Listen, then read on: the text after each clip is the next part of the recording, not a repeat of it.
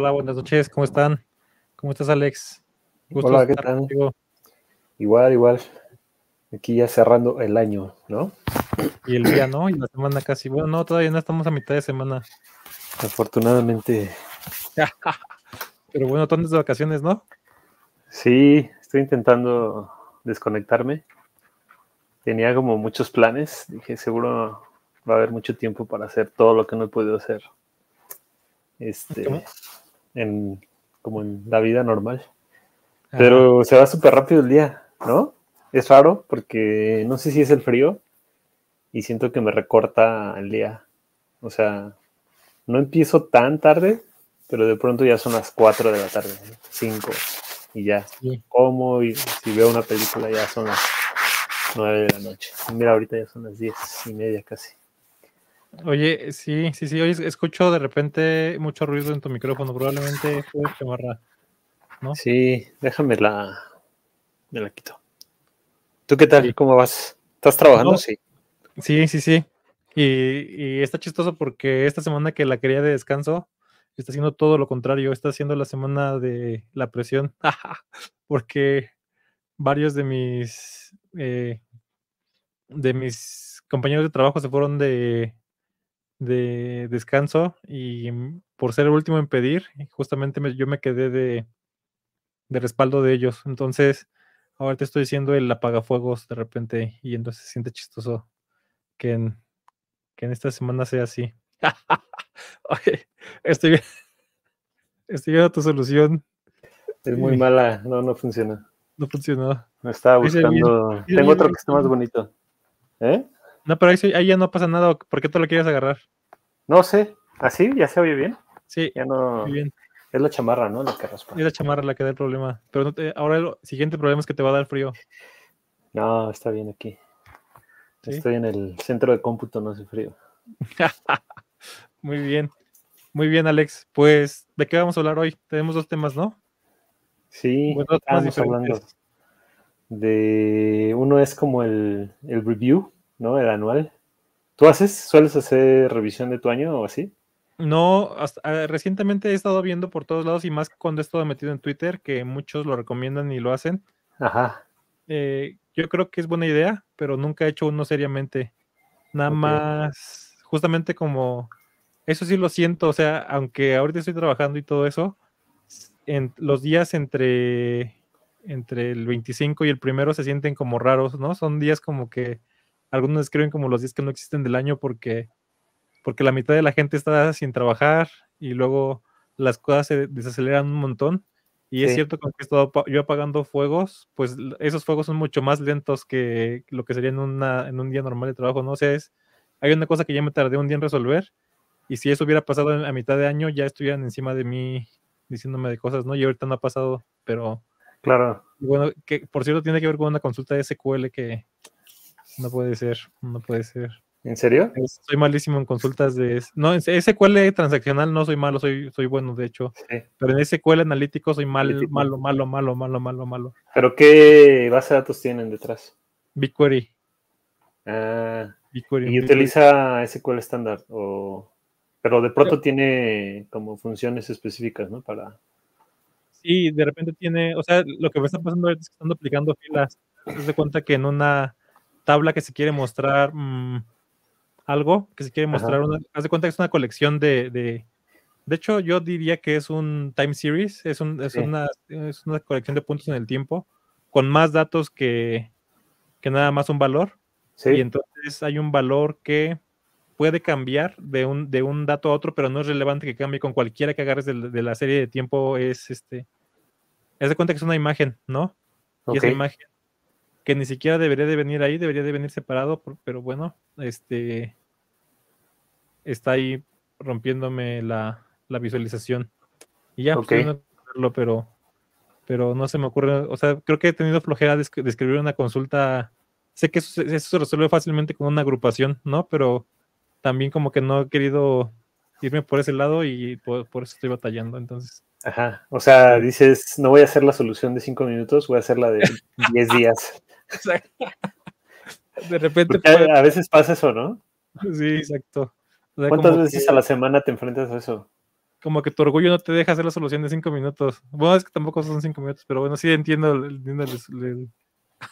A mí me, pasa mucho, o sea, no a mí, sino a veces con la, en, proyectos, es como, no, o sea, la frase es, ya tengo la solución, pero es que no, no me gusta. Y yo, ¿cuánto tarda? Cinco minutos, pero es como mala, ¿no? O sea, me voy a sentir mal. No, hazla. Es más, si ya me dijiste, si logré decir, si logré hacerte decir que dijeras que te tardaba cinco minutos, lo quiero en cinco minutos. Y ya. Y no sientes que a veces a la gente se le facilita que alguien más les autorice a hacer esa solución sucia.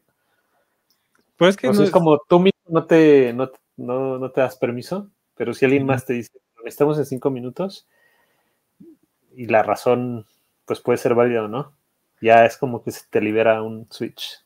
Sí, sí, sí. Sí, ah, creo que tienes razón. Sí, sí, sí. Hay una. Eh...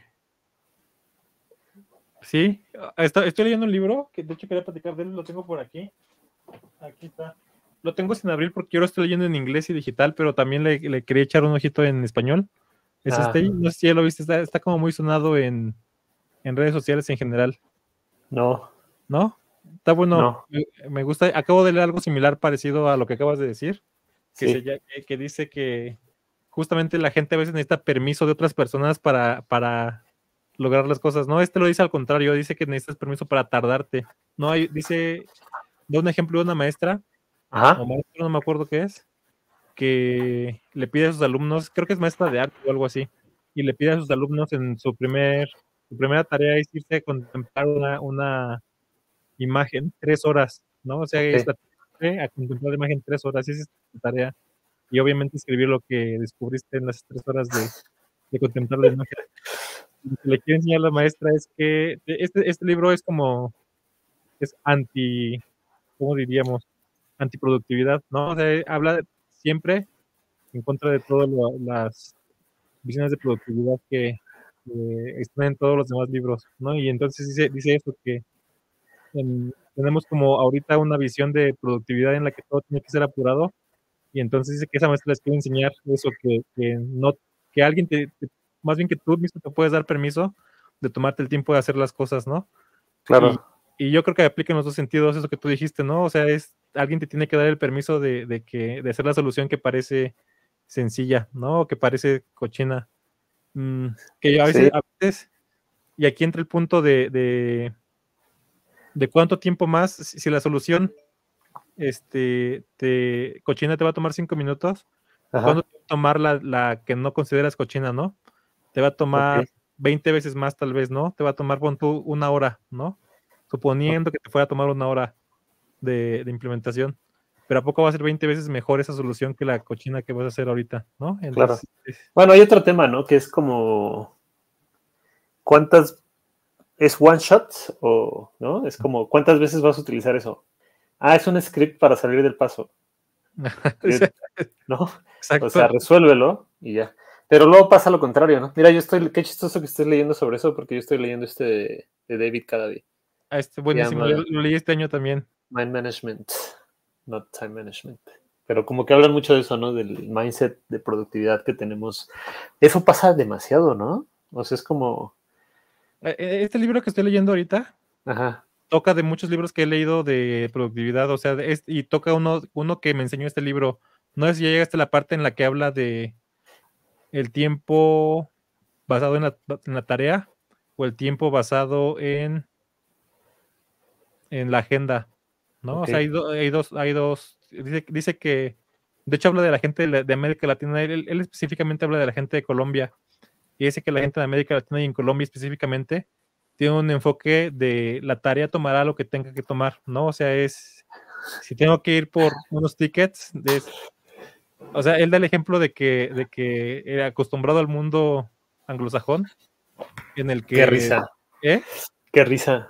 ¿Por qué? Pues porque me... O sea, siento que... Siento que sí he visto eso, pero por alguna razón no estoy, o sea, me siento, no, no me siento identificado. Ajá, yo tampoco. ¿Tú? No, yo tampoco, no. ¿Crees que, que tenemos como con un concepto anglosajón? Ujú. O sea, creo que estamos influidos por ellos, ¿no? ¿Pero en qué momento nos insertaron esa, ese chip? Yo creo que tiene mucho que ver con las comunidades en línea, ¿no? ¿Por? Con la gente que, que tratamos en general y con el mundo, eh, digamos, de los negocios y de la programación tiene mucho que ver con eso. O sea, Ya. buscamos la eficiencia, buscamos este. Sí, buscamos ese tipo de cosas cuando, cuando él dice justamente que hay. De hecho, de hecho, yo creo que esa es la principal diferencia y de la que hablamos. No sé si a ti te ha tocado hablar con gente que dice que hay una gran diferencia de la vida en, en lo rural o en los pueblos que en las ciudades, ¿no? Justamente Sí. yo creo que esa es la gran diferencia. En las ciudades tienes la visión de, eh, de, de- el enfoque en la tarea, ¿no? Es, esta tarea tiene que estar lo más rápido posible. Y en, lo Claro. ru- en, los- en las cosas rurales o en, o en lugares ru- rurales, tienes el enfoque de esa tarea, va a tomar lo que tenga que tomar. Y entonces eso es lo cuando dicen que la vida se siente más lenta en los pueblos, de que es, pues ni modo, va a tomarme lo que tenga que tomar, ¿no? Mm, sí. Sí, además siento que. Incluso yo le pondría una capa adicional en este momento. Porque estamos muy acostumbrados a el- el- la recompensa inmediata, ¿no? O sea, es como. Yo ahorita justo estoy pasando por eso. En estos días he estado reflexionando como eh, un poco sobre el tiempo y es como. Hay algo ahí atrás que todo el tiempo te está diciendo, tienes 200 tareas y entonces asignale 25 minutos a cada una, ¿no? sí. Pero, pero, Ajá. pero si intentas luchar contra eso, tampoco sabes cómo luchar. Bueno, ahorita me está pasando eso, es como, no, tengo tiempo, ¿no? Porque tengo tiempo. Pero entonces tampoco la termino, ni en 25 ni en infinito. Es la, es la ley, Eh, la ley de Parkinson, ¿no? Que el tiempo se va, se- el trabajo se va a expandir hasta llenar todo el tiempo disponible. Sí. Sí, pero siento que es mucho, o sea que la forma en la que estamos modelados en este momento es muy específica, o sea, es muy rara porque involucra cosas de trabajo remoto, de redes sociales y de, pues esto como anglosajón. Y por el otro lado está esto que dices de esto se va a tomar el tiempo que se tenga que tomar. ¿A ti te ha pasado con, cuando trabajas con gente de otros países? No, no, no me ha pasado, no me ha pasado en general. Bueno, me pasa con, con ah, respecto al tiempo, ¿no? Respecto a la ética de trabajo, sí. O sea, trabajo con una muchacha que es francesa y tiene, tiene un enfoque muy diferente de, respecto a las tareas y respecto a los proyectos que, que lo que tenemos los mexicanos, ¿no? O sea, es muy, muy diferente, es mucho más. Pero es rarísimo porque, por ejemplo, los franceses, según yo, tienen como la fama de le- laissez-faire, ¿no? Como dejarlo ser, como... no, ella Y, no. y es todo lo contrario, entonces creo que es un mal ejemplo. O sea, ¿dirías que es anglosajona? Su Yo digo de- que sí, o sea, yo digo que, que, que todo el mundo educado, digamos, está influido por la visión. Es, es que no diría que es anglosajona, más bien. O sea, no sé si decir lo que es anglosajona, o más bien es influido. lo- hoy lo acabo de leer justamente eso por, por la mecánica de, de esto del management científico, ¿no? De Taylor, ¿no? Que tiene que ver eso con extraer hecho, el máximo de productividad al tiempo, ¿no? Eso, viene ahí en el libro, al principio de este que estoy leyendo, viene el Taylorism. Pero siento que esto que, que dijiste del mundo educado es como una frase, o sea, como siento que no expresa lo que quisiste decir. O sea, dices, los educados van a prisa y los no educados van lento. No, Yo creo que sí. O sea, o sea, yo creo que, que en la universidad y en ese tipo de lugares te inculcan ese tipo de, de visión, ¿no? no, yo creo que no. ¿No? No, no. No, porque, por ejemplo, yo he visto lo mismo en... Y digo, ya hace mucho trabajé en Volkswagen y me tocó trabajar con alemanes. Y eran pues, eh, educados y estaban en sistemas, pero pues iban a su ritmo. O sea, era como tú podías ir acelerado y siento que ahí tenemos una ventaja, ¿cierto? Yo pensaría que, ay, yo pensaría todo lo contrario de los alemanes, justamente incluso por la cultura, No, por lo de, por lo de ser puntuales y todo eso de los alemanes. Yo y creo que es raro. Sí, porque ser puntual no quiere decir que vayas a prisa. ¿no? Porque puedes ser puntual y creo que viene en una de las cosas que vamos a hablar ahorita, me dio mucha risa. eh, eh, en este documento de Shane Parrish sobre la evaluación de tu año y en particular en el documento, es el último punto de ese documento, le llaman eh, hard mode, easy mode, ¿no? Entonces, no sé si quieres compartirlo como el último punto, pero dice, sí, en el mundo real no hay puntos, no te dan puntos por hacer las cosas de forma difícil, ¿cierto? Y entonces, en tu mente, la puntualidad es difícil. Y lo que dice este, este, este, este punto es, es difícil si te levantas tarde y es difícil si te acuestas tarde, entonces te desvelas y llegas tarde a tu cita. Es fácil si sales con dos horas de anticipación, llegas al lugar, te tomas un café. Eso es como... Entonces, ahí sí coincido que culturalmente en nuestra mente estamos como buscando hacer, pensamos que nos dan más puntos si logramos llegar cinco minutos antes, o un minuto antes de que la cita, porque entonces eh, hicimos lo máximo de nuestro tiempo, ¿no? Sí, sí, exacto. O sea, que en alemán tú, tú mentalmente dices llega puntual, pero probablemente llegó una hora antes. Y entonces se lo tomó con calma porque no está haciendo puntos de dificultad, está haciendo sus cosas fáciles. No lo sé. Sí, ¿a, ti te pasa eso, Alex? ¿A ti te pasa eso que dijiste de, es difícil llegar temprano porque voy corriendo siempre? Sí. Eh, o sea, puedo, puedo hacer lo contrario, pero me gustó este punto del, o sea, este punto yo no lo entendía porque como que asociamos las cosas fáciles con flojera en la cultura, no sé si es latina o, bueno, en, mi globo de cultura, en mi burbuja de cultura, probablemente digas, cuando quieres las cosas fáciles es porque eres un flojo, ¿no? ¿Te acuerdas del libro este de Four Hour Work Week, cierto? ¿Estás de acuerdo que, no sé si se lo has comentado a gente como en tu entorno, y lo primero que te dicen ah, es que eres un huevón, ¿no? Porque, porque, ¿por qué querrías trabajar solo cuatro horas a la semana? Y el libro no va de eso, ¿cierto? O sea, el libro va de, probablemente en cuatro horas podrías hacer lo suficiente para X cosa, pero como que nuestra, culturalmente lo vemos y decimos, ah, sí, este, no hay dificultad, entonces cero puntos para ti y probablemente estás haciendo trampa. Sí. Es como... Y, este punto, ¿tú cómo lo entendiste cuando viste el título? ¿Cuál? ¿Este, de aquí, este, sí. Sí. No lo había leído. sí, pero ¿qué entiendes? Sí, sí, entiendo eso que, estás diciendo, o sea, que, que, que, el, que el, o sea, sí que puedes vivirlo, o sea, eso me recuerda a lo que dicen Mm, tú me lo has repetido varias veces, ¿no? De cuando tomas decisiones, ¿no? Si tomas decisiones y, acciones difíciles, vas a tener la vida en modo fácil. Y cuando tomas la acción o el camino fácil, vas a tener una vida difícil, ¿no? Sí. Entonces, Pero este, este, está, este, este está peleado con eso, ¿cierto? Ajá.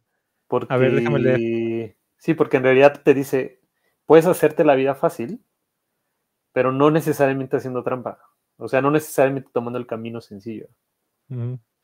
Aquí, fíjate que este libro, yo, yo lo tenía, pero no lo tenía tan claro como lo explicó este, este, este libro de aquí. Eh, te digo que lo explica en una parte que nuestra cultura del trabajo arduo, o sea, porque eso tiene que ver con el trabajo arduo, ¿estás de acuerdo? O sea, es hacerte las cosas difíciles o, hacerte el héroe o lo que sea, tiene que ver mucho con nuestra cultura y con decir, ah, yo me esforcé mucho para esto, ¿no? Yo logré esto porque me costó, me, me costó un montón de trabajo, ¿no? Y entonces tú sientes que, que te haya costado trabajo te da puntos.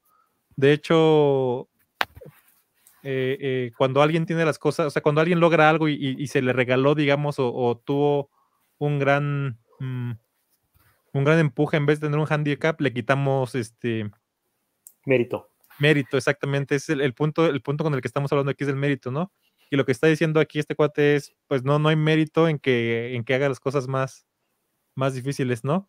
Y este libro, el de 4000 semanas, lo explica diciendo que me da mucha risa porque le tira mucho a la religión, ¿no? Dice que todo es culpa del calvinismo y que en el calvinismo, o los calvinistas, justamente que es lo que le dio la, forma al mundo anglosajón, o sea, en nuestro mundo, en, Latinoamérica tenemos o estamos formados por la por la católica, ¿no? Por, la educación católica, que, tiene, comparten bases, pero se separan en cierto punto.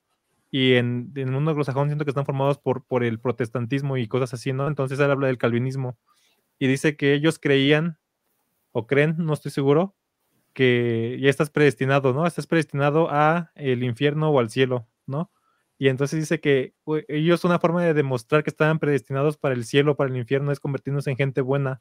Y que es gente buena, gente trabajadora, ¿no? Entonces es tu forma de demostrar que estás predestinado para el cielo es, o sea, y está chistoso, ¿no? Porque si estuvieras predestinado, no importa lo que hagas, si estás predestinado para el infierno, para el infierno o para el cielo, no importa. Pero dice que su forma de demostrar que yo soy alguien que está predestinado para el cielo es, mira qué bueno estoy trabajando y mira qué productivo y qué le estoy dando al mundo, ¿no? Entonces, siento que mucho tiene que ver con eso, ¿no? Con la cultura justamente y también te digo, siento que va por el lado del mundo anglosajón, ¿no? Del mundo formado por cierta rama del cristianismo, ¿no? O sea, ¿no sientes que mucho tiene que ver con eso? Ah, porque, porque, porque justamente siento que la parte de, ah, sí, que las cosas sean fáciles y que no te cuesten trabajo, está muy peleado con esa parte de demostrar que, que tienes mérito por algo, ¿no? Claro. Ahora hay, hay como. O sea, esta interpretación en específico siento que no está peleada con la otra y con otras discusiones alrededor de la dificultad, ¿no? Por ejemplo, a pesar de que hay alguien que puede ser muy bueno en un deporte de manera natural y podrías decir que se esfuerza menos que otras personas para conseguir un resultado, incluso esas personas pueden enfrentarse a situaciones difíciles que, que los hagan superarse, ¿no? o sea, da igual si el reto es muchísimo más grande que para otras personas. Y de todas maneras buscan la dificultad. Entonces, no es que esté peleado con la dificultad, porque también se puede interpretar de esa otra forma, ¿no? O sea, es como siempre hazte las, las cosas sencillas. Y no, no necesariamente. O sea, puedes buscar la dificultad como un mecanismo para mejorar alguna parte de tu ejecución. Y, pero bueno, no, me acuerdo cómo llegamos aquí. Yo tampoco me acuerdo. Creo que llegamos por el lado de, de... Nos fuimos metiendo en el hoyo del conejo desde el lado de... Este de que estás de vacaciones y de que el tiempo contra no tener tiempo y ah, así, y luego hablamos de no tener eso. Aquí Mr. Valdés recomienda una serie que se llama The Good Place. ¿La has visto? No. No. Tiene que hablar de cielo contra infierno. Pero la vamos a buscar. A ver. Muy bien, bueno, entonces, te digo que yo no estoy acostumbrado a hacer este tipo de cosas, pero sí. creo que al tener tiempo libre en estas épocas, y justamente al reiniciar los ciclos, porque, porque fuera de todo lo religioso y de todo el tipo de celebraciones, lo cierto es que los ciclos económicos se siento que se reinician, ¿no? Porque, claro. por ejemplo, yo que trabajo para empresas que tienen ciclos económicos anuales, lo que pasa es que cierran proyectos o reinician proyectos y tienen nuevo presupuesto y cosas así, entonces creo que es un buen tiempo para parar un poquito y, y aplicar lo que dice el Scrum, ¿no? O sea, creo que claro que dice que te pares, observes, te orientes y entonces decidas y actúes, ¿no? Entonces. Fíjate que. Te voy a enseñar un. Te voy a compartir. Yo, antes de salir de vacaciones, creo que ya estaba de vacaciones y me puse a hacer un documento. Te lo había enseñado. Este, a ver si se ve. Ahí está. Bueno, voy a enseñar como la mitad. Entonces, un heatmap de de mis comunicaciones. De este lado está la gente con la que trabajo directamente, que son los verdes, y los azules son los proyectos. Esto lo saqué de, Slack. Lo puedes hacer un poquito más grande para, para tomar un poquito más de forma. Tiene mucho más este espacio blanco lado derecho. O a lo mejor hacer un poquito más cuadrada la pantalla, tal vez te sirva. Acá, zoom. A ver. 200. Ahí está. mucho mejor. Okay. Entonces viene de, de enero a diciembre y es como el heat map, ¿no? Entonces quería ver, digo, no sé si tengo el total acá, como mi ritmo de mensajes mensual, si se había disminuido o no. Entonces más o menos así está, ¿no? O sea, siento que hubo un periodo bastante fuerte a la mitad, en mayo, y luego se redujo. Obviamente, aquí estuvo chistoso, noviembre, estuvo más bajo y agosto, agosto ¿no? Creo que aquí tomé vacaciones. pero descubrí varias cosas. Después de hacer este, hice este otro, que son mis horas de mensajes. Y la verdad es que sí me sorprendió estos de aquí, ¿no? Por ejemplo. O sea, siento que estos ya por aquí no debería tener tantos mensajes. Ni tan acá. O sea, yo creo que tendría que esforzarme por dejar todo en esta zona. 1, 2, 3, 4, 5.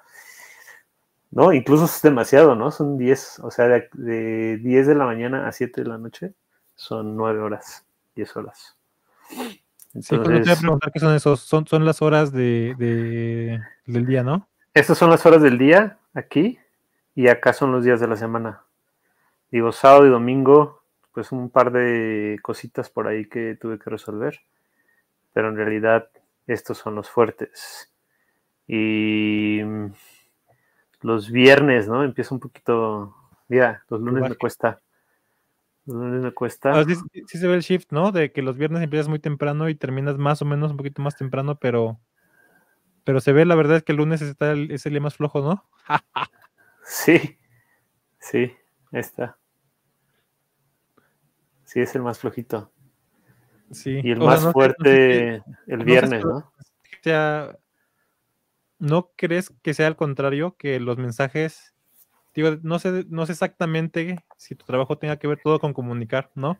Pero no sé si sea un buen proxy para saber cuánto estás trabajando o si, si no, más bien sea al contrario, que es el tiempo que no trabajas, que no trabajas en lo tuyo directamente.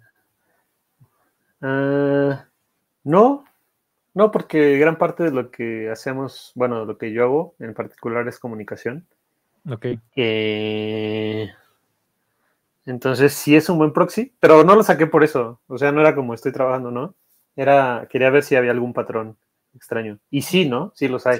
O sea, por ejemplo, este de aquí, ¿no? Del martes a las a las, las nueve está mal. Nueve es como what, ¿por qué? Sí. Y los viernes están raros, que sea los martes y los viernes parece, ¿no? Sí, los martes y los viernes. Los lunes es como un día de. Este es un día sin Zoom, normalmente. Bueno, ah, originalmente era un día sin Zoom, pero ya no. Y también tiene que ver con que a veces se los dan, ¿no? Los lunes. Sí. Y la otra cosa es esto, que cuando hice el mapping, casi de todas las cosas pude, o sea, como que aquí es, ¿qué estuve haciendo? principalmente en este canal o con esta persona, ¿no? Resolviendo, compartiendo como ideas o empujando hacia alguna dirección los proyectos o haciendo acuerdos, ¿no? Entonces, como que sí me sirvió el tener este framework para saber, uno, en qué quiero enfocar el año que entra mi tiempo y qué tanto quiero enfocarlo en esas cosas. Porque, por ejemplo, este ejercicio creo que no lo he hecho hace pues, mucho tiempo. Entonces, como que si no lo tienes, no, no tienes idea, ¿no? No sé si tú haces cosas parecidas. No, no, no, no me hace falta mucho eso de. ¿Cómo le llaman eso? Measure itself, ¿no? no sé si va por ahí, por ese lado, tal vez lo que estoy haciendo, ¿no? No, no lo hago. De hecho, creo que me hacen falta métricas para ver qué tan efectivo soy en el trabajo. Estaría bueno que habláramos de eso algún día. Sí. Pero sí, sí, Y entonces no haces ningún ritual de, por ejemplo, yo algo que empecé a hacer, pero dejé de hacer hace como dos años también, era que juntaba las fotos del año. O sea, como de cada mes tomaba de mis fotos la que más me había gustado. Y, entonces armaba uno, o tomaba dos tres, ¿no? De ese mes y armaba un, un álbum y iba y lo imprimía a, pues al Walmart. Tiene unas máquinas ahí para imprimir las fotos. y empecé a hacer como álbumes por año, porque ahora todo es digital, ¿no? Y, siento que eventualmente te lo vas perdiendo. O sea, por ejemplo, esto, ¿no? Está ahí, está en Slack o tus correos. En tus correos hay un montón de, como de info de, de cómo funcionas, con quién hablas, de qué hablas, las juntas que programas y así, pero eventualmente se pierden, ¿no? Sí, puede ser. No, yo no tengo ninguno de ese tipo de, ningún, ningún tipo de, bueno, de ese tipo de, rituales o de cosas para cerrar, no, no tengo ninguno. No se me ocurre por, por lo menos ahorita uno. Dice aquí Miguel Valdés, Mr. Valdés, que su ritual es cerrar todos los tickets en Gira. Y si alguno se ocupaba, se abre otro nuevo. Eso está bueno. Está bueno, sí. Empezar con un clean slate, ¿no? Con tu. Con tu. Sí, con tu pizarrón limpio. ¿Qué onda, Miguel? ¿Cómo estás? Ya tenemos dos Migueles aquí. Listo. ¿Tú, Miguel Enríquez, tienes algún ritual para cerrar el año? ¿O algún tipo de reflexión o algo similar? Pero bueno, quiero que mientras nos contesta Miguel, quiero que mm, mm, mm, hablemos del Annual Reflection de, de Farnham Street. Entonces, a ver, los puntos. Yo no los he leído, entonces si quieres contarme la estaría bueno. Bueno, el primero es como te despiden y alguien toma control de tu vida, ¿no? Y es como, ¿qué haría de manera distinta esa persona? Que, llega a regir tu vida. Tampoco, o sea, lo leí muy rápido, ¿eh? Y. Sí, esto está chistoso porque no lo sé. Esto, es, esto me pasa que cuando alguien te pide consejo, ¿no? O sea, si tú me pidieras consejo y me dijeras que, oye, ¿en qué le estoy regando? Es, muy fácil, ¿no? Ajá, como que es fácil recomendarle a las otras personas qué hacer, pero son cosas que normalmente tú no haces. Sí, está bueno. Segundo punto, eliminate ruthlessly. A que hagas menos pero mejor. Este es este súper básico, ¿no? O sea, este sí creo que em, es algo de lo que padecemos mucho. Porque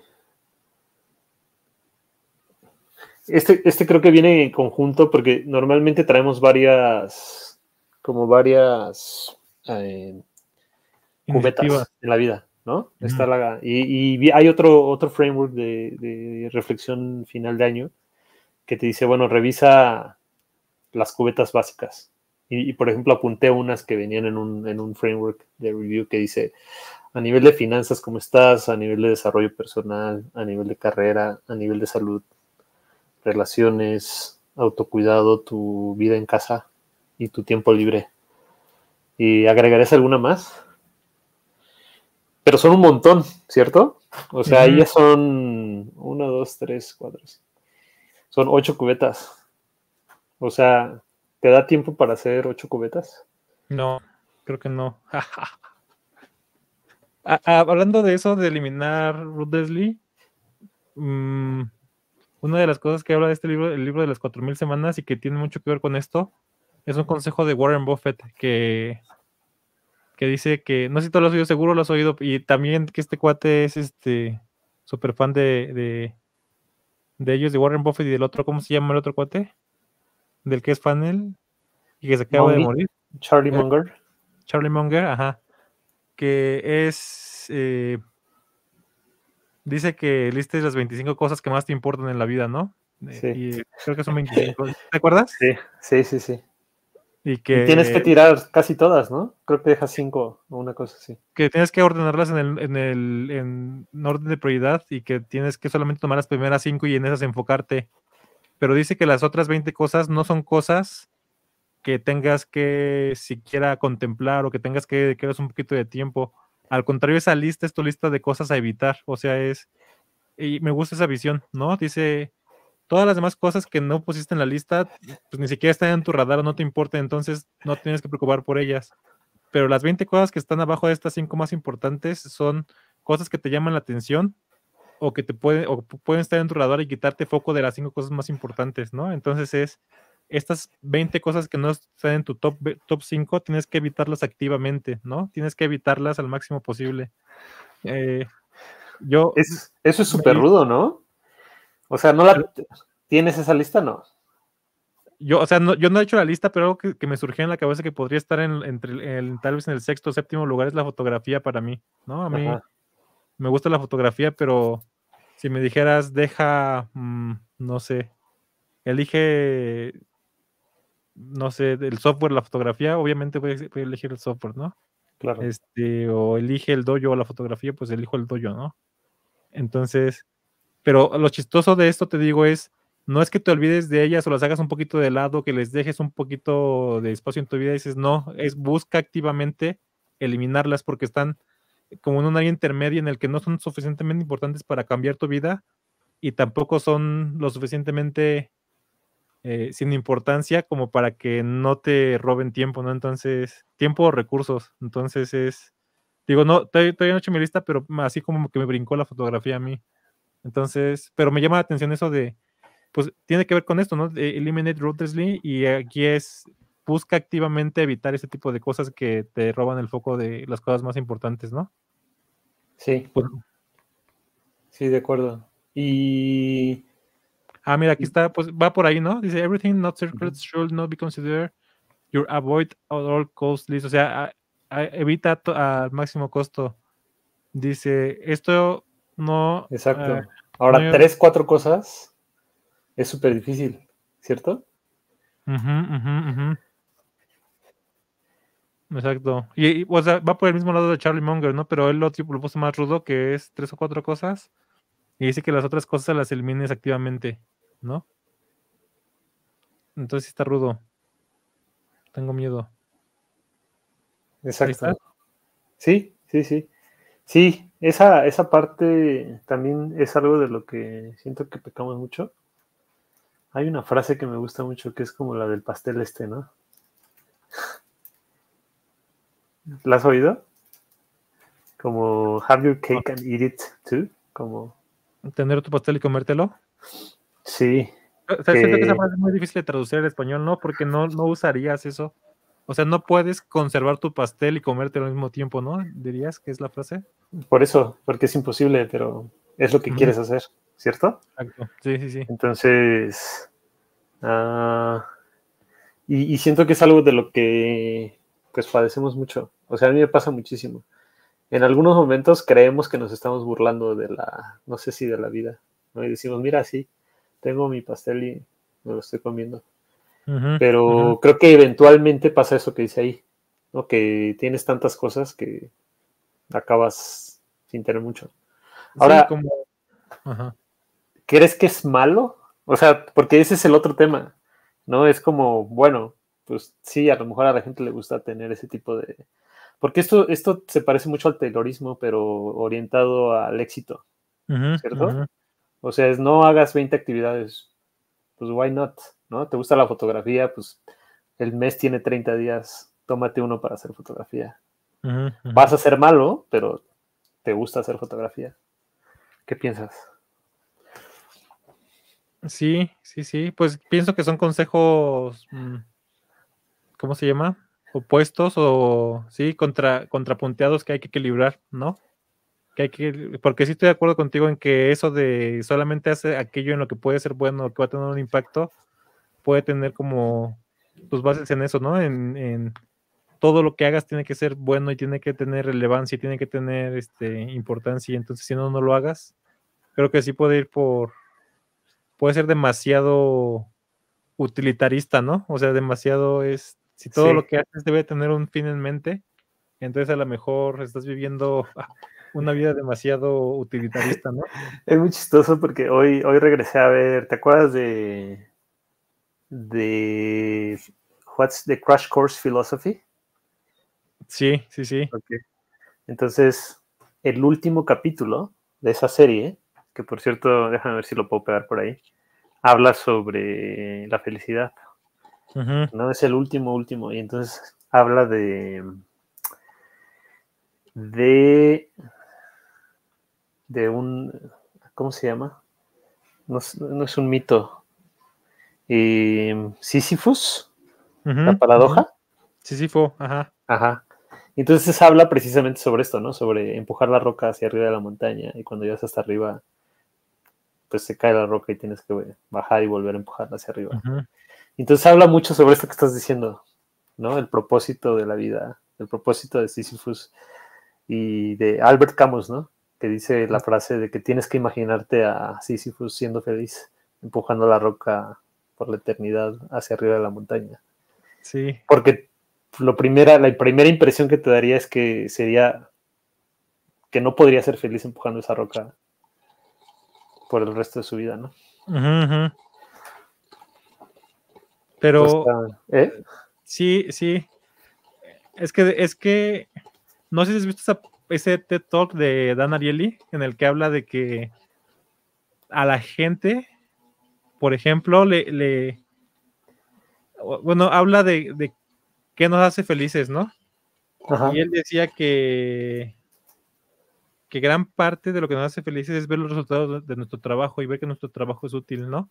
Por eso el mito de bueno, creo que, que, ya hemos hablado del mito de Sísifo antes en el canal, pero el mito de es, así, así se le conoce el mito de Sísifo, es una leyenda griega en la que se dice que no sé quién castigó a, a Sísifo y tampoco me acuerdo quién era Sísifo, no me acuerdo si era un hombre, un semidios un dios o lo que sea.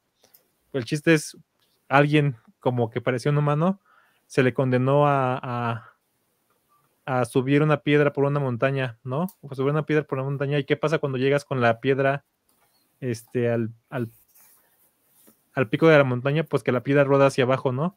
Y entonces se le condenó a repetir esa actividad que se supone que es una actividad fútil o una actividad que no sirve para nada indefinidamente. Y esa es como la, como la, la alegoría de, de, hacer cosas que no sirven para nada y que se repiten infinitamente, ¿no? Que muchas veces, este... Exacto, exacto. O sea, tiene mucho que ver por ahí, o sea, que nuestro trabajo, que, que lo, gran parte de por lo que extraemos valor del trabajo es porque se supone que le sirve a alguien, ¿no? O tiene alguna, algún tipo de utilidad. Y si estamos como Sisifo, entonces se supone que estamos, o sea que es una de las peores cosas que le puede pasar a un ser humano, ¿no? Mm, pero, ¿qué ibas a decir, Alex? Sí, no, o sea que, justo en ese video tratan un poquito sobre esto que nos dice Miguel, ¿no? Y, al final dicen, bueno, tienes que encontrarle valor a, a lo que haces, pero y al final del día no todo tiene que... claro, ¿no? En la perspectiva más grande es como, bueno, lo que hace el humano en el universo tiene algún valor, es en específico. Y probablemente la respuesta es que, que no, ¿cierto? O sea, es como, pero aún así pues lo estamos haciendo y, y, sí es bueno hacer cosas que nos hacen felices y encontrarle un valor a las cosas que hacemos, pero no necesariamente va a ser un valor real, no lo sé. Sí, que al final de cuentas muchas veces el valor es relativo justamente, ¿no? O sea, el valor es de dónde, según la filosofía, es de dónde sacas o de dónde le pones el valor a las cosas. Claro. pero, pero fíjate que este tiene un, o sea, para mí sí tiene un significado más allá.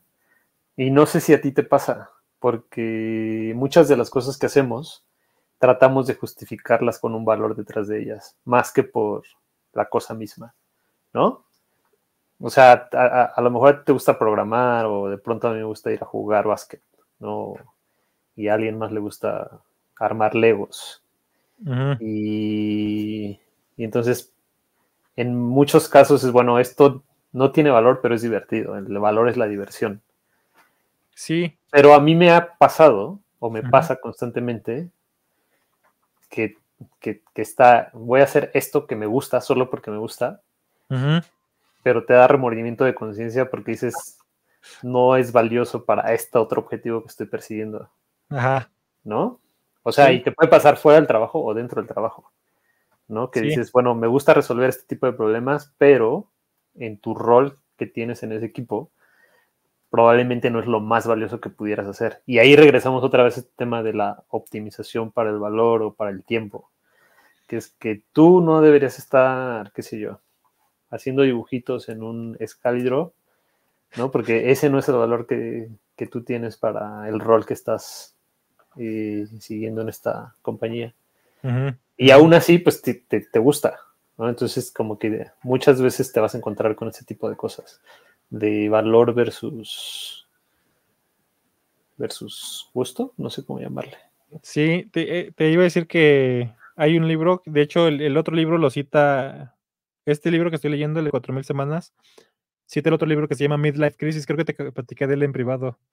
el libro de Midlife, Crisis y habla de lo que muchos filósofos han dicho, lo que muchas personas han dicho es, la, o sea, y, es que te digo que ese es un punto de vista muy, muy, eh, muy reciente, ¿no? Que tiene mucho que ver justamente con el calvinismo y estas cosas, que es todo lo que hagas en tu vida, este... sí, Midlife es cuando te compras motocicletas o cuando te compras un Tesla S Plate o lo que, lo que sea, ¿no? Algo que corra muy rápido. Pero ese, ese libro se llama, se llama Midlife, a, Philosophical eh, Guide to Midlife, se llama, algo así. Y habla de, de que una forma justamente de ayer le valora la vida, y, y, creo que va por el lado que tú decías, Alex, es hacer cosas que no tengan un fin, justamente. El autor este que se llama Kieran Setella o algo así, habla de que, ah, no creo que lo platiqué con Camilo de, ese libro, pero bueno, este libro dice que, que gran parte de la vida, y también lo decían otros filósofos, es hacer cosas que no tengan un fin, ¿no? Y se llaman cosas autotélicas.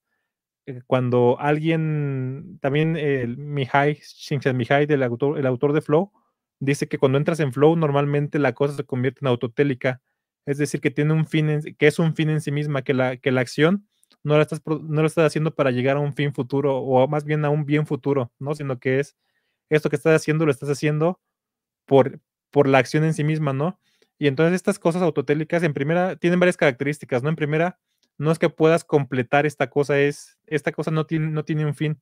Por ejemplo, salir a caminar, dice, ¿no? Salir a caminar no tiene, si, lo haces por su valor intrínseco de la cosa, no tiene un fin, no lo estás haciendo por ejercitarte o por llegar a algún lado o por cualquier otra cosa, es, quieres salir a caminar y si la haces solamente por la acción de salir a caminar, es una acción autotélica, ¿no? Lo que tú dijiste, armar legos, ¿no? Armar legos no tiene ningún tipo de sentido, ¿no? y lo dice quien tiene 20 legos aquí atrás. No, o sea, no tiene ningún tipo de sentido en cuanto a dificultad o en cuanto a que produzcas un objeto de valor o en cuanto a algo, pero es, es divertido puede que la actividad en sí misma sea autotélica, ¿no? Si, lo haces sin ningún objetivo extra, como incluso coleccionar Legos, ¿no?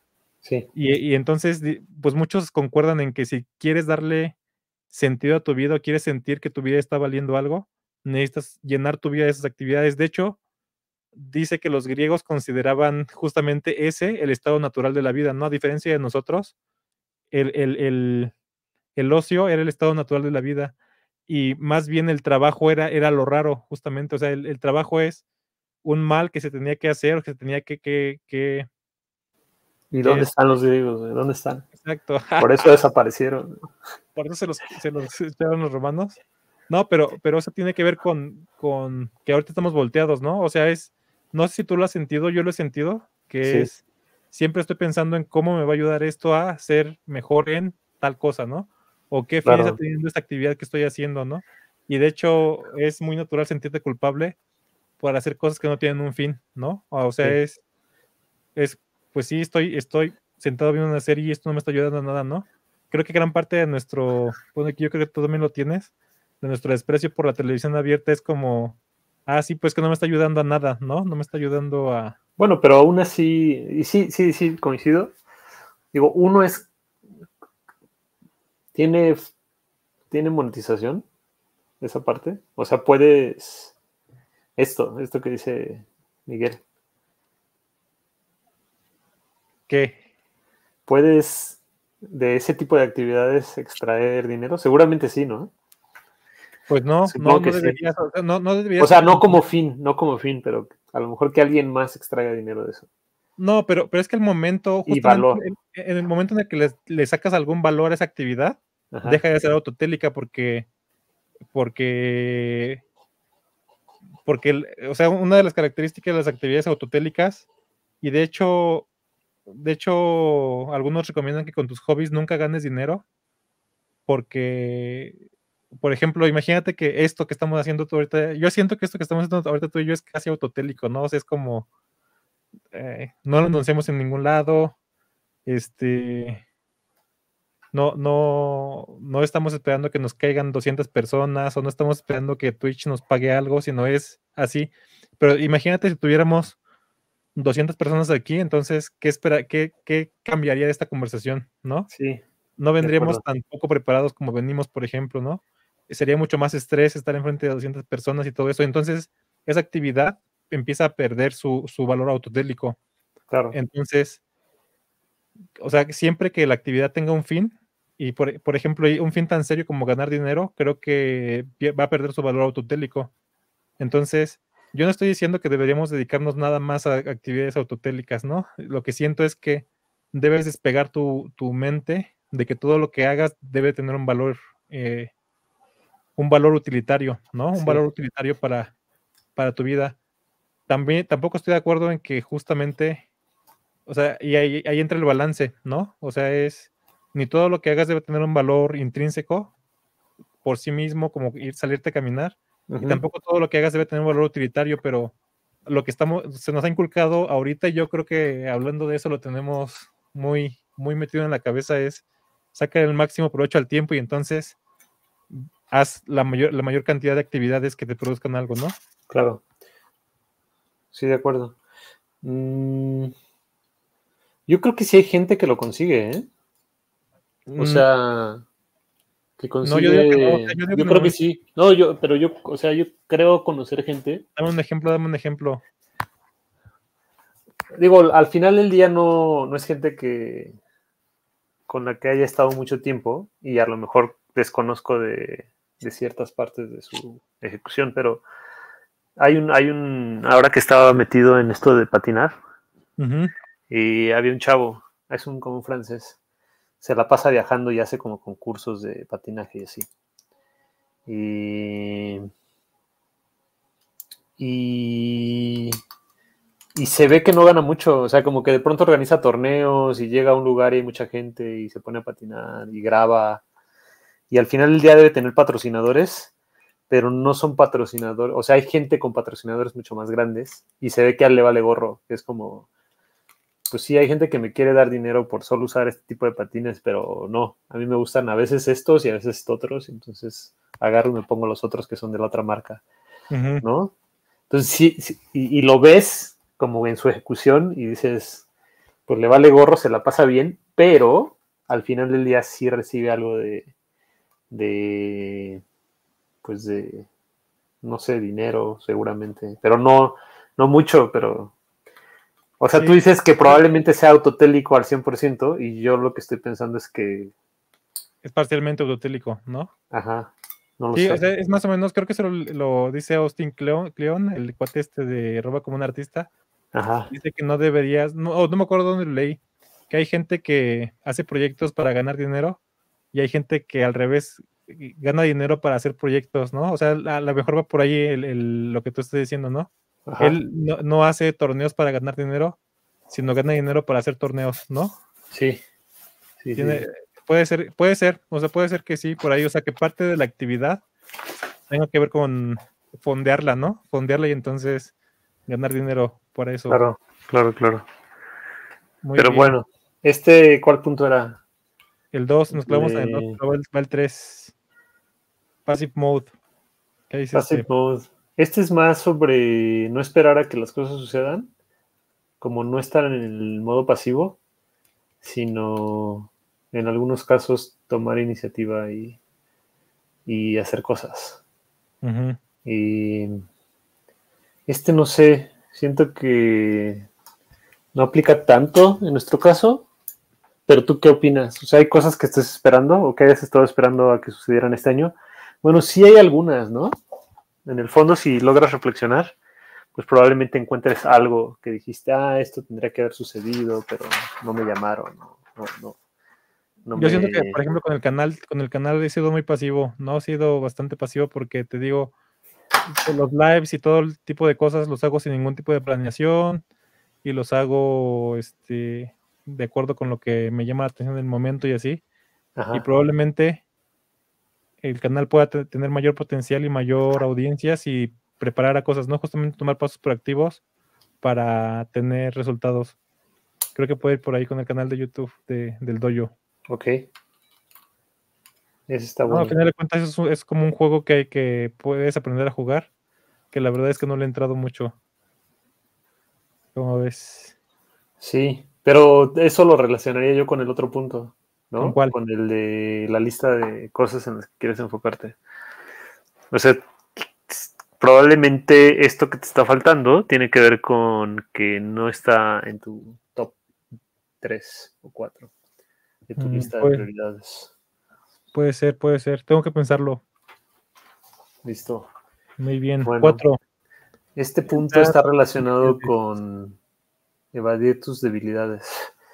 Entonces, hay una, hay por ahí una anécdota de, de un tenista de Roger Federer, ¿no? Que decían que era que él tenía un porcentaje de errores no forzados. ¿Has oído ese concepto en el tenis? O sea que te equivocas aunque el, aunque el, el oponente no se aproveche de, tu- de tus debilidades, ¿no? Exacto. Entonces, a mí me, me resuena mucho con esto. O sea, un error no forzado es un error que cometes, pero que, lo, que el- probablemente te podrías haber ahorrado el error si hubieras intentado algo mucho más sencillo. Y entonces decían que era parte de su, de su éxito, ¿no? Que él tenía un porcentaje tan bajito porque a veces iba más a lo seguro. Digo, era muy bueno, ¿no? Eh, definitivamente, pero y, mm, como que no arriesgaba tanto. Y, y, y y aquí la, la que ponen ahí es sobre debilidades, ¿no?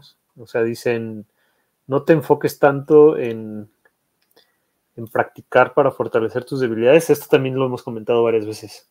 Sino más bien es asegúrate de no caer en una situación donde tengas que emplear algo que sea que no sea de tus fortalezas. Ok. Y lo demás, justamente, ¿cómo se dice esto? Delegarlo, ¿no? Lo que puedas delegarlo para que justamente otras personas te cubran en, en tus debilidades, ¿no? Sí, de acuerdo. Muy Muy bien. ¿Las tienes identificadas? Ah, mías, mías, debilidades mías. Mm, tiene mucho que ver con orga- organización y la procrastinación. Esas son mis principales debilidades, creo yo. Y, creo que ahí es importante porque has sabido esto del- de, los entornos, ¿no? De trabajo. Entonces, por ejemplo, para las dietas, te dicen, bueno, si tú es- quieres comer menos carbohidratos, pues lo primero que tienes que hacer es no comprarlos, porque en cuanto los compras y los tienes ahí en la cocina, no va a más faltar que vayas por agua y te regreses con tres bolsas de papitas. O Sí. en tu caso que eran cacahuates, ¿no? Que era lo que te comprabas, ¿te acuerdas? Sí, cacahuates. Pero esos no son carbohidratos. Pasabas por tu... Pasabas por el puesto de los dulces, ¿te acuerdas? Sí, Tenías que haber cambiado la ruta. O sea, ahí ese... En ese caso era como, no voy a pasar por la tiendita de... De dulces. Sí. Muy bien. Bueno, el punto 5 es eh, evita a gente tóxica. ¿Cuál es el punto de esto?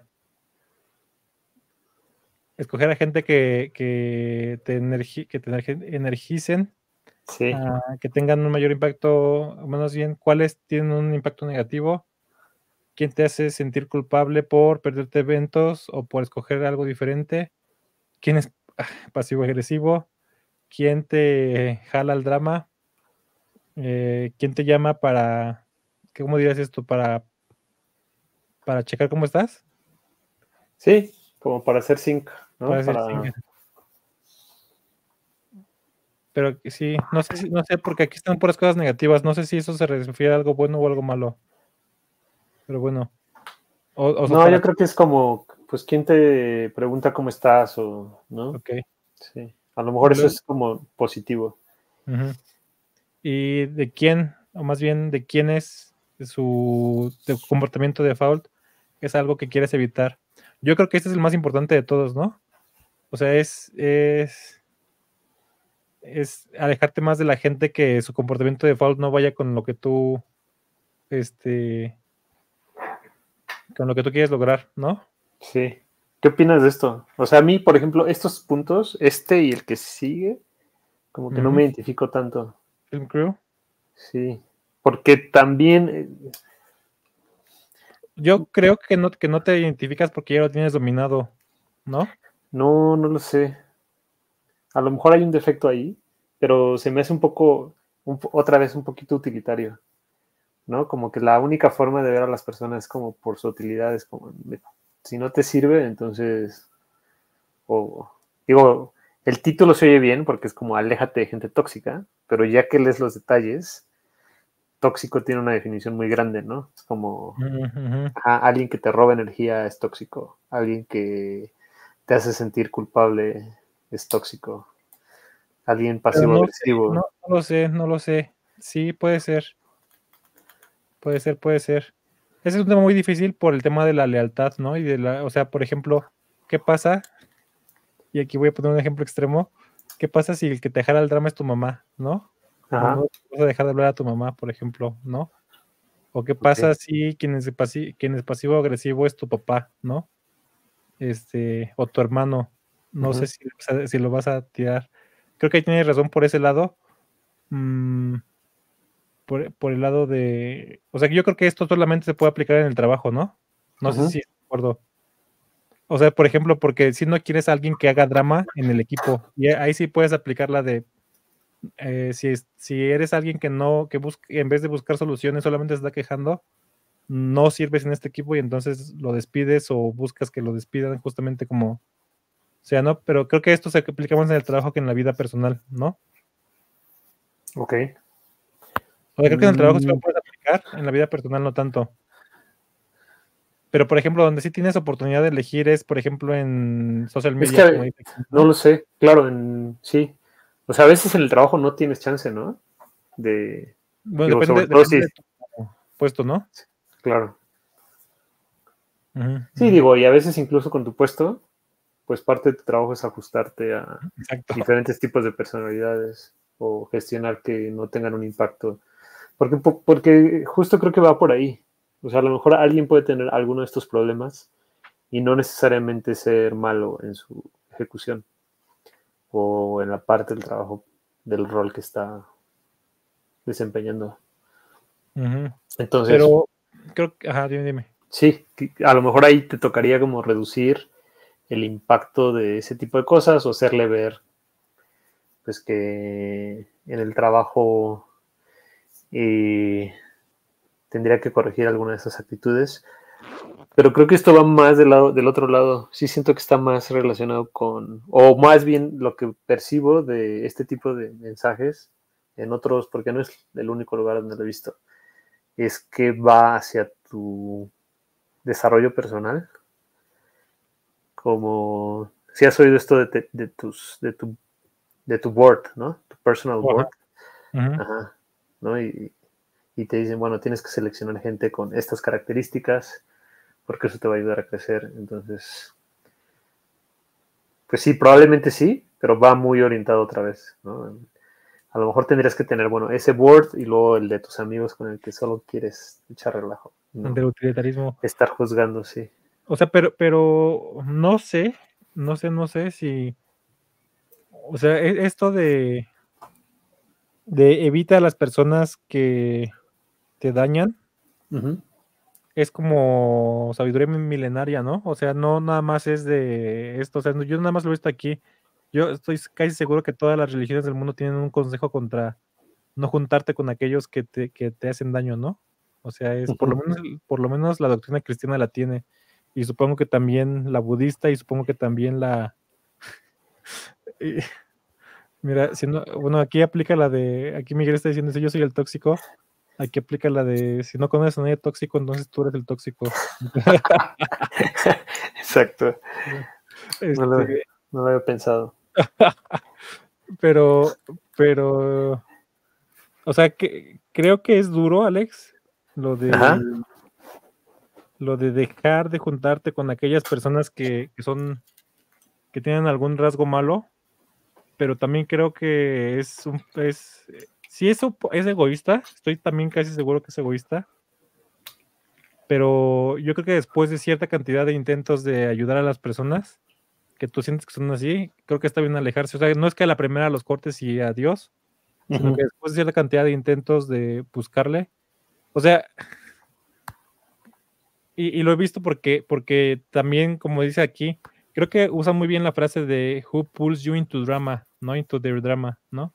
Mm. Porque las personas alrededor te pueden jalar, ¿no? Te pueden jalar a, no directamente al drama, puede, te pueden jalar a otros lados, no te pueden jalar a problemas que con los que tú no tienes nada que ver. O sea, están muy claros los ejemplos de que porque Tú, no eras drogadicto, pero te juntaste con drogadictos y agarraron a la bola, pues a todos metieron a la cárcel por posesión de drogas, ¿no? Sí. O sea, es. ¿Tú verías sabio seguirte juntando con ese tipo de personas? Nada más porque por lealtad de algún tipo. No, no, no. no, ¿no? O sea, digo que eso, es un caso extremo, ¿no? Sí. Este, pero no sé si es un tema difícil. Yo creo que, que por el momento seguro aplicaron el trabajo mientras puedas, ¿no? Va. Luego dice aquí Film Crew, que dice, eh, emula las acciones de la gente que consiguió el éxito. Este está chistoso porque ahí viene, ¿no? Dice, imagínate que te están grabando todo el día y están documentando tu éxito. ¿Va? Entonces, ¿te gustaría que te grabaran navegando dos horas en TikTok? Por supuesto, porque te va a tener más mérito. Mira, se la pasó dos horas en TikTok y todavía tuvo éxito. no, sí, ya, entendí. dormido hasta las. ¿no? ¿Eh? Como si alguien te estuviera observando. Sí. Te como siempre, si siempre te estuvieran observando, ¿no? Sí. Lo irónico es que ah, siempre hay alguien observándote, ¿no? no lo sé. Pues, no, no sientes que va por el lado de o sea, es, la sustitución atea de, de pórtate bien que Dios siempre te está viendo. Podría ser. ¿No? O sea, es una, una justamente de las doctrinas, de las doctrinas cristianas es pues Dios siempre te está viendo, entonces tienes que portarte bien siempre, ¿no? Entonces eso va por este lado, pero por el lado utilitarista y, y como dijo aquí Miguel, mercantilista y capitalista, ¿no? De vas a tener éxito, entonces siempre tienes que estar haciendo cosas de gente exitosa, ¿no? No puedes dormir hasta las 10 de la mañana y no puedes estar dos horas en TikTok, ¿no? Eso. Sí, no sé, no sé si estoy de acuerdo también con este. Sí, yo tampoco. No, en general, o sea, sí hay cosas que puedes usarlo como un truco y podrías pararte y reflexionar. Imagínate que en la historia documentada del éxito de Héctor estuviera, no, pues eran las once y media de la noche del miércoles y él grababa contenido. ¿Lo harías? No lo sé. no lo sé. no lo sé. Pero bueno, no, este y el, el anterior no. Y bueno, llegamos ahí al último que es este del... Easy, easy Mode, Hard Mode. Digo, Yo, estoy, yo estoy parcialmente de acuerdo con esto, el de Void Toxic People. O sea, creo que no es tan fácil como, ah, sí, muchas horas de tu vida y adiós. Siento que, sobre todo con cierto tipo de personas, tienes que mantener algún tipo de lealtad pero también esa lealtad tiene límites, ¿no? Tiene, tiene, tiene límites justamente porque, porque no quieres que, si esa persona se está yendo a la basura, su vida, no quieres que te lleven con ellos, ¿no? Y puede ser, este, ahí puedes tú elegir, pero creo que un lugar seguro en el cual aplicarlo es en el trabajo, que es donde casi siempre puedes elegir, ¿no? Claro. Mm. Ahora, fíjate que como framework, Digo, Shane Parrish es alguien al que seguimos desde hace un buen rato, pero no me parece que sea, ¿cómo le llama su framework este? Em, annual Reflection, o sea, sí es una reflexión, pero no es una revisión, ¿no? Sí, sí, sí, es como más este entonces. ¿No ves lo que hiciste el año pasado o lo que has hecho, no? Sino nada más es para ver al futuro. Claro. Bueno, no, ni siquiera, ¿no? Es como una reflexión de con quién me estoy juntando, y a qué le estoy dando prioridad, este, por qué me estoy haciendo las cosas difíciles, yo. Pero no es una un reflection. Bueno, si es un reflection, no es una revisión de tu año. ¿No? Porque por ahí está esta discusión de si deberías plantearte cosas para el 2024 o más bien revisar el 2023. ¿Tú qué opinas? O sea, ¿qué crees que sea más valioso? Yo, yo creo que en cualquier momento que tengas la oportunidad, no solamente al final del año, tienes que hacer esta reflexión. O sea, este, esto del. Si algo me gusta del, ciclo de Scrum, es la parte de.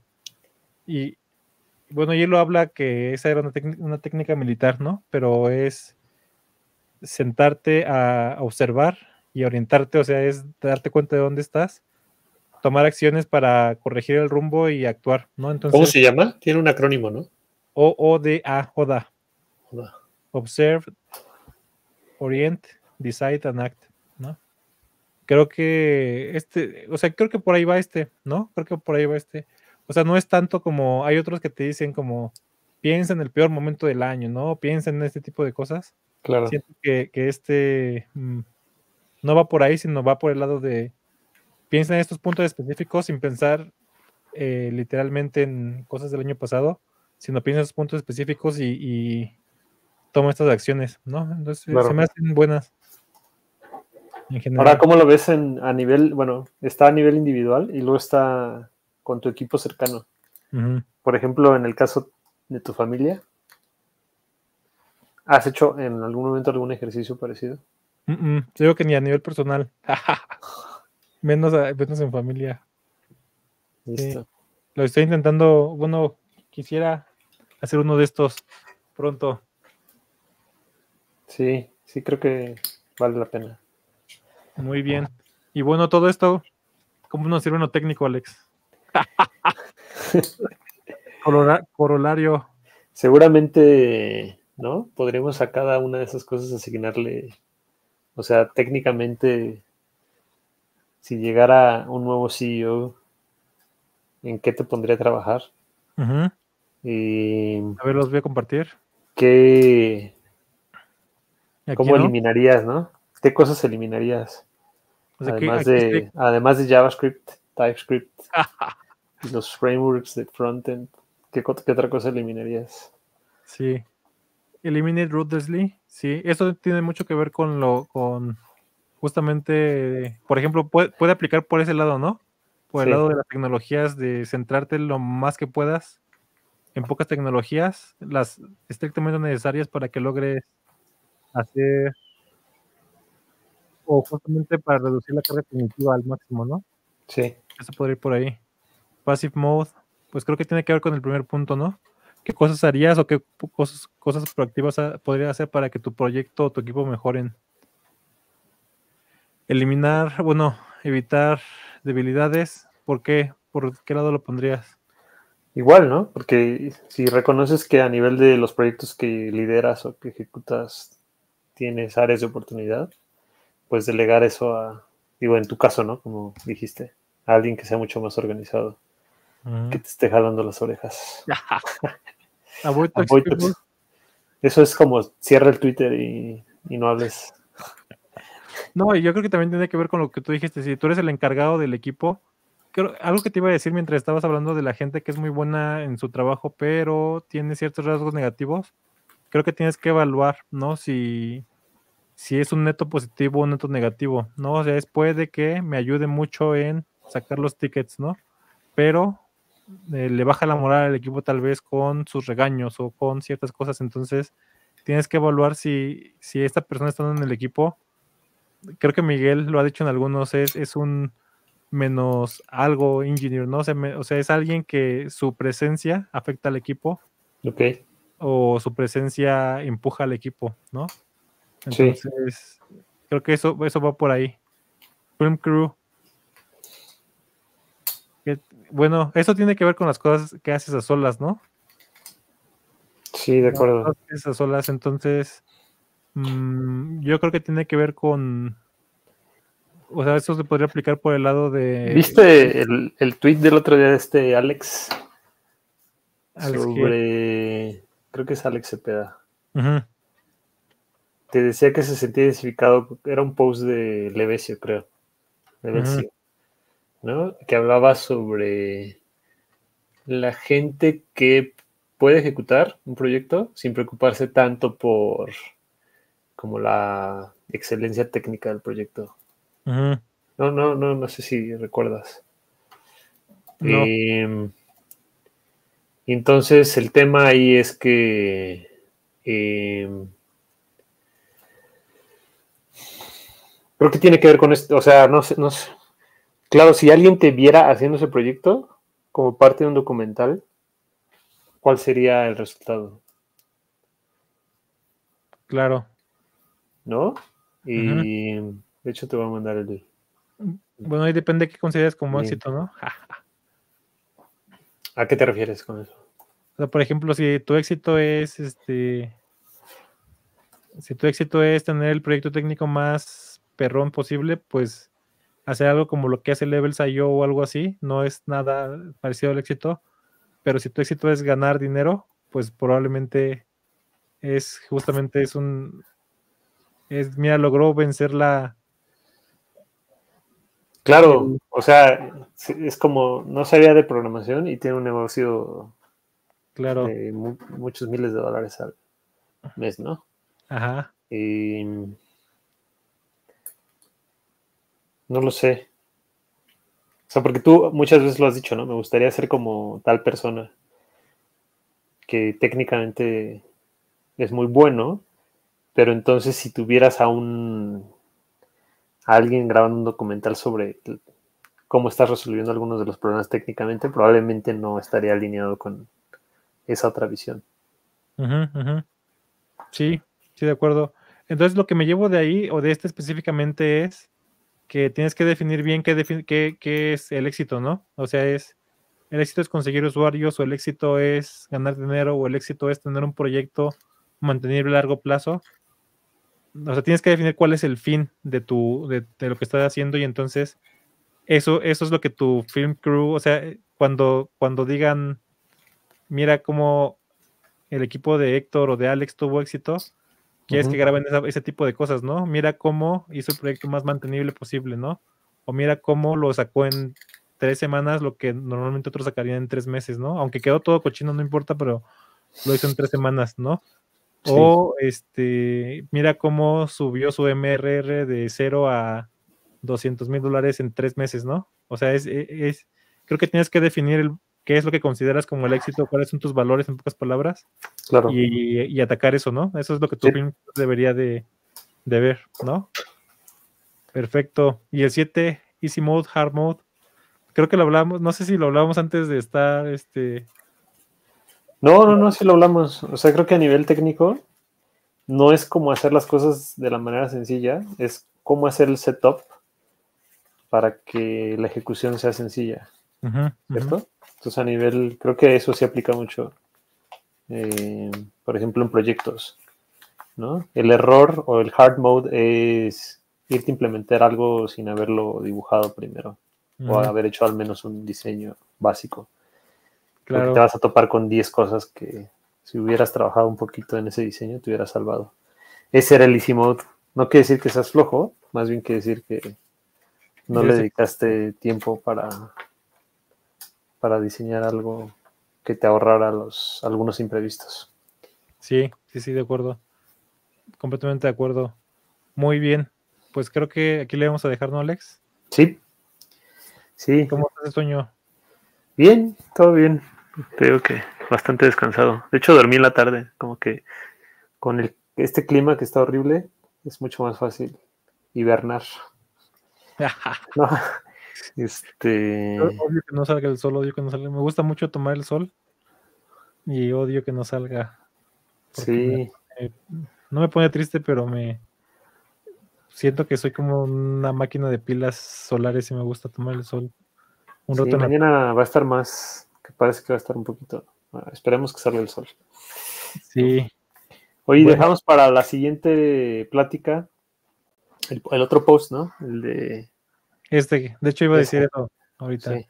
La siguiente vez, si quieren, Miguel, están invitados. Ah, queremos hablar de este, de mis recomendaciones para todo enfocarse en 2024. Para los que se, se. Bueno, Santiago es una persona que tanto Alex como yo respetamos bastante, ¿no? De la parte de, de AI en general. O sea, creo que ha hecho muy bien lo de la construcción de su audiencia desde que comenzó. Y entonces, pues luego saca posts muy buenos y aquí habla de dónde deberías enfocarte en 2024 si quieres sacarle provecho a todo lo que todos los desarrollos que están saliendo, ¿no? Entonces, hablamos de este la próxima vez, ¿va? Listo.